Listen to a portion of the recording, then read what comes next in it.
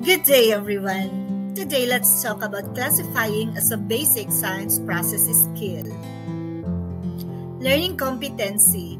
Classify objects and events according to observable characteristics. First objectives. Describe classification as a basic process skill. Identify and differentiate the stages of classification. Classify objects based on their properties or characteristics. Let us unlock first classifying. Classifying is grouping or ordering objects or events into categories based on properties or criteria. There are three stages of classification. One, we have single stage classification. Two, multi-stage classification. And three, serial ordering. Let's talk first about single stage classification. It involves separating a set of objects into two or more subsets based on at least one observable property. Binary classification, a part of single-stage classification, is sorting the objects into two groups. What property do these animals have in common? All these animals have backbone. Hence, these animals are vertebrates. Now, how can group these vertebrates into two groups?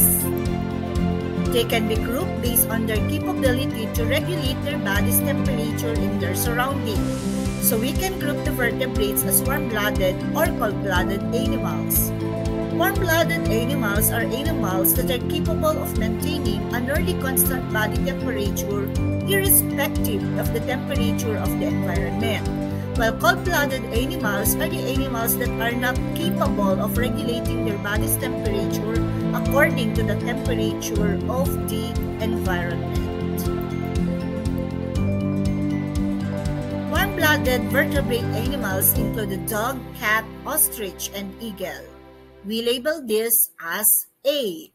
On the other hand, cold-blooded animals include the frog, snake, milkfish, or bangus, tilapia, turtle, crocodile, and salamanders. We label this as B.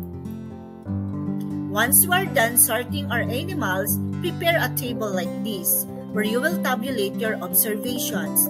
In the first column, we write the sets or groupings of our animals A and B. In the next columns, we write the properties we want to observe like body covering and method of movement. These are just examples. You may write in these columns the properties that you like to observe. Another way of sorting objects is through a multi-stage classification, where sets are sorted into subsets, then each of these subsets is sorted again and again. Going back to our examples of warm-blooded and cold-blooded animals, let us sort set A first. How can we sort these warm-blooded animals? We can sort them into mammals and birds. Dog and cat are classified as mammals. We label this set as A1, while ostrich and eagle are classified as birds. We label this set as A2. This means that A2 and A1 are subsets of set A Let's sort set B this time? How can we sort the cold-blooded animals? We can sort them as amphibians, fish, and reptiles. Turtle and frog are amphibians. We label this set as B1. Milkfish and tilapia are fishes. We label this set as B2.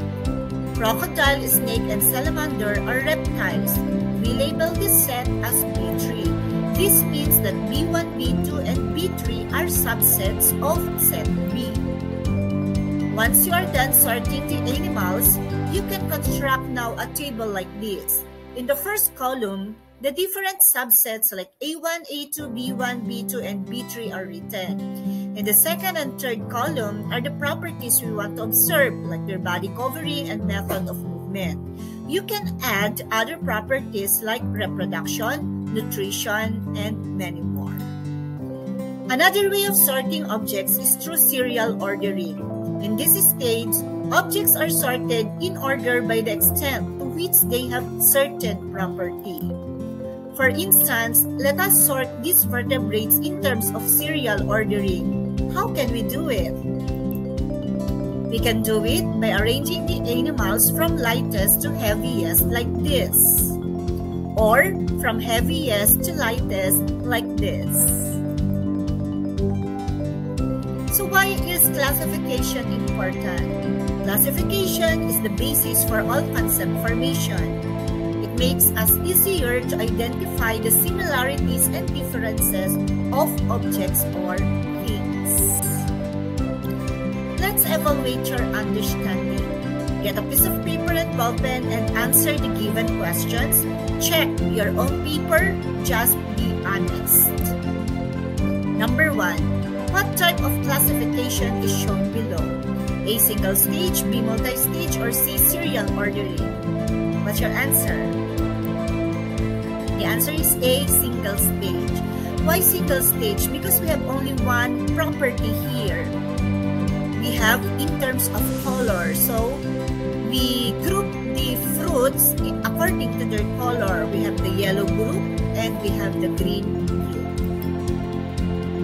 Number two, what type of classification is shown below? A single stage, B multi-stage, or C serial ordering? What's your answer? The answer is B, multi-stage. Why multi-stage? Because there are already subsets here.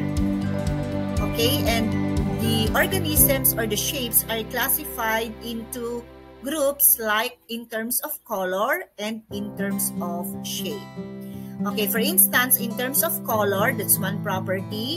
And then from the color, they are again grouped into two. We have the crooked circle and the smooth circle. Same true with the blue color. Okay, aside from blue, they are also sorted in terms of shape like square and triangle. Hence, this number 2 is multi-stage. Number 3. Which of the following statements is true about classification? 1. It disorganizes the objects into groups. 2. It makes it easier to see the differences. 3. It makes it easier to see the similarities. 4. It is confusing. And here are the choices. A, 1 and 3, B, 2 and 3, C, 1 and 4, or D, 2 and 4. What's your answer? The answer is B, 2 and Which science process skill involves sorting organisms or objects into groups? A. Observing, B. Inference, C. Classification, or D. Classifying? What's your answer? Okay, the answer is classifying.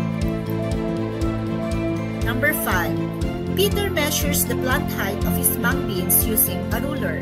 He records his observation. Finally, he mung beans in increasing plant height.